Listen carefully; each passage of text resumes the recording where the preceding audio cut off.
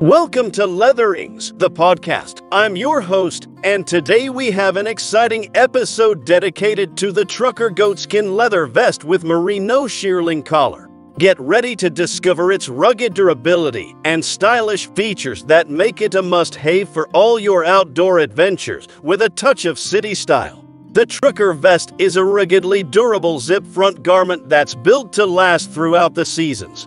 Crafted from supple Kildare goatskin leather, this vest is not only robust but also boasts a gentle pebble grain texture that adds to its understated good looks. One of the standout features of the trucker vest is its plush shearling sheepskin collar. Made from luxurious merino shearling, this collar not only adds a touch of sophistication but also provides added insulation and warmth during colder outdoor excursions. The dual collar design, featuring a removable zip front leather bib with a shearling lined collar, adds versatility and rugged style to the vest. The trucker vest is designed with both functionality and style in mind. From the buckle tab collar to the adjustable waist tabs, every detail is carefully considered to enhance your outdoor experience. The buckle tab collar not only adds a rugged touch but also allows you to adjust the fit for maximum comfort.